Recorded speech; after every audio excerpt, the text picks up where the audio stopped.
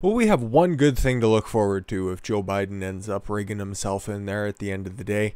He's not going to interfere in Hunter Biden's investigation. You know, all of the laptop items, all of the dealings with China, and now he's under tax investigation from the Department of Justice or the FBI or the CIA, whatever, it doesn't much matter. At least Joe Biden is not going to interfere in this matter because he knows that nothing has gone wrong. He just knows that he has an intuition, let's just say the the fatherly intuition that he would have that his son has done no wrong in this and uh, he has done so many great things in order to turn his life around and as we can see here Democratic presidential nominee Joe Biden will not interfere with the federal investigation into his son, an advisor claimed on Sunday. Joe Biden will not run the White House as a family business. oh my God. We can see who he's putting into place. Okay, not right now. Not right now. As President Donald Trump has. okay, fair enough. Kushner's there. Don Jr.'s there. Ivanka's there. Okay, fair enough. But at least they have legitimate business expertise, but we'll put that aside. Okay, he's not going to Biden won't install any of his relatives, just everybody who's enriched his relatives for decades. Big distinction. Fair enough. And he will not interfere in decisions made by senior leadership in the Department of Justice. Oh my god. This doesn't read like news. This reads like a late 90s Adam Sandler comedy. This reads like the script of Big Daddy. Senator Chris Coons, oh, this guy sucks so many dicks, a friend and advisor to Biden, of course he is, said on NBC's Meet the Press, speaking of a hypothetical Biden administration. As we know, Hunter Biden's under investigation, oh yes, by the U.S. Attorney's Office in Delaware, where Biden has pretty much rigged everybody into the positions that they have there, kind of like how Harry Reid has a overwhelming Democratic machine in Nevada. So I figured nothing's going to come of this anyways, but of course you guys could probably figure that out as well, and you guys know all this information anyways. Republican members of Congress have urged Attorney General Bill Barr, well, he's going to have to do it before the 23rd of December, to appoint a special counsel for the probe. Yeah, he's, he's he's not doing that. So a potential Biden administration couldn't shut it down before it reaches its conclusion. You think that that would actually fucking matter? Okay, let's just say logistically they couldn't shut down the probe. Trump or Barr puts in whoever to have a special counsel put into place, and then they do their due diligence, even though the FBI has had access to the laptop since 2019, and he's been under investigation according to the DOJ for as long. But uh, you know what? Uh, something would change. Definitely one of those bureaucrats would get in there and they'd do their damnedest to find out what happened. Even though that most of these swamp creatures in the past about weeks time have really started to reveal themselves there is definitely 100% a fracturation happening in the republican party it's not just exclusive to the democrats right now to make this perfectly clear there is a trump wing and there is an establishment wing of the Republican Party right now. And as it sits on the Democrat side, it's not getting as much attention because it's not so obvious right now.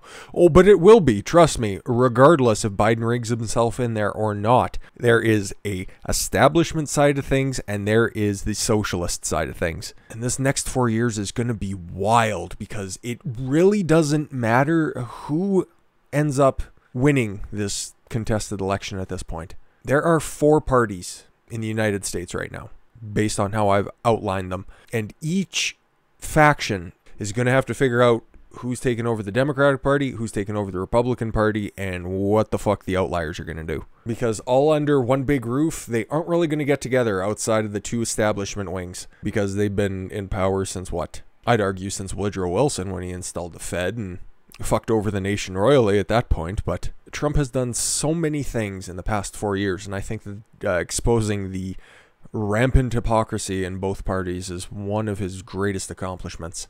But back to the point of the article, the investigation is critical to defending the integrity of our republic and ensuring a potential Biden administration will not be the subject of undue foreign interference, Republican Ken Buck. Oh, thank God, Ken, because I'm glad that you still have that boyish optimism that uh, so many of just had ripped right from out underneath of them. Asked whether there needs to be some kind of protection, such as a special counsel or retaining the United States Attorney in Delaware and making it clear publicly that he won't be interfered with, Coons said that either of these options may work well. What a fucking dolt. The Biden team hasn't responded to requests for comment on the Hunter Biden situation. Au contraire. Now, this article is from the 14th, and we got a brand new piping hot one on set on the 16th. We have remarks straight from Joe Biden himself. He's confident his son did nothing wrong. So this is going to get memory hold. I hope you guys realize this. There are so many things, all the Obama Gate investigations whatever John Durham and Barr were doing in regards to figuring out where all of this Russian interference jargon came from prior to the 2016 election, that is going up in smoke. That is, uh, we know Barr's gone, okay? And Durham is just what, just going to kick his can down the road even further? And let's just say Biden is slumped over in his chair, putting his, having somebody put his hand on the Bible on the 20th of January a whole host of new people are coming in and all of this old stuff that might like make the Democrats look bad will just get fucking doused in gasoline and fucking tossed right out. Democratic presidential candidate Joe Biden said on December 16th that he believes his son Hunter did nothing wrong in the first public statement following the revelation that the younger Biden is under federal investigation. Are you confident Hunter Biden did nothing wrong? A, a weak-kneed reporter asked Biden during the event. I'm confident, Biden said, responded. That what, his hair plugs look natural? That he hasn't shit his pants this morning? I'm glad they asked for a follow-up. Biden has since oh has twice deflected question about his son in recent days, but as soon as they served it up, it's like, oh, we all know Hunter Biden did nothing wrong. You know Hunter Biden did nothing wrong. Are you confident they're going to find they did nothing wrong? I'm confident. Thank you for your time, Mr. Biden. And may I remark just how coherent and forceful your previous remarks were. You truly are an inspiration to this nation. Hunter Biden revealed last week that he learned he was under investigation by the U.S. Attorney's Office in Delaware. Could not be a more sympathetic office in the land. He said the probe dealt with his tax affairs. Which ones are those? Exactly, the one with China. I take this matter very seriously, but I am confident that a professional and objective review of these matters will demonstrate that I handled my affairs legally and appropriately, including the benefit of professional tax advisors. Oh my lord. Oh, to have a rich and powerful family. Oh. Oh my god, you can literally just get away with murder. It was like that kid who, what was it, involved in a hit and run, and then he got off because he said that he didn't know any better, and that's what the judge was claiming because he grew up in a rich and powerful family. I just kind of immediately came to mind, but that's such a hilarious thing for somebody who's been in such an insular bubble for so long. Oh, and Joe Biden also had comment on this. He is deeply proud of his son who has fought through the difficult challenges, including vicious personal attacks in recent months, only to emerge stronger. You know, man. And like we've seen, there was no follow-up question when Joe Biden was actually pressed for this, and uh, it's something that we all knew was coming because we've seen all of the media clash just start to pump out the fucking fluff pieces. We've seen them start to already. Well, they carried Joe Biden across the finish line. I don't think that's up for debate at this point. But now you can already see it preemptively happening with Hunter Biden. I give you Vanity Fair. They were writing scathing articles about Jared Kushner. They were the ones that leaked all of those quotes from anonymous sources close to the White House that the Lincoln Project ran with and put up on billboards in New York City.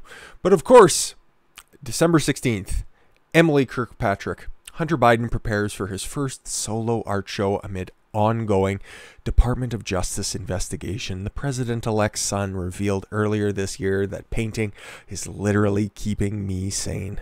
That and trying to figure out how many Skittles he can fit on his dick. Hunter Biden now has not only a Department of Justice investigation into his taxes to contend with, but his first solo art show to prepare for next year.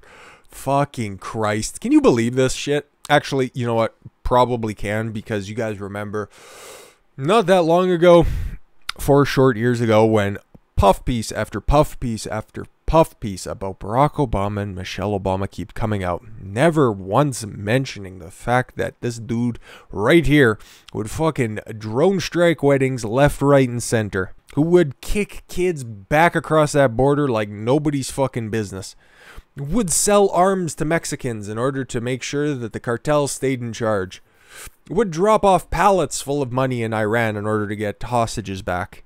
But no, just Michelle and Barack Obama being adorable, as you can see here. Such hard hitting journalism.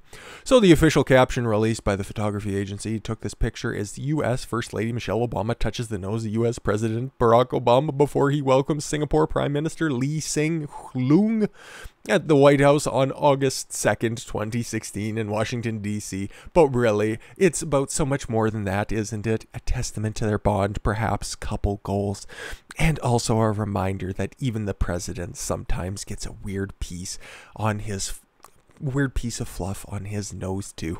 Yeah, we all know what kind of fluff you guys have on your fucking nose. Hopefully, you can have your own personal linebacker take it off for you. But that's exactly the kind of shit that we can see coming.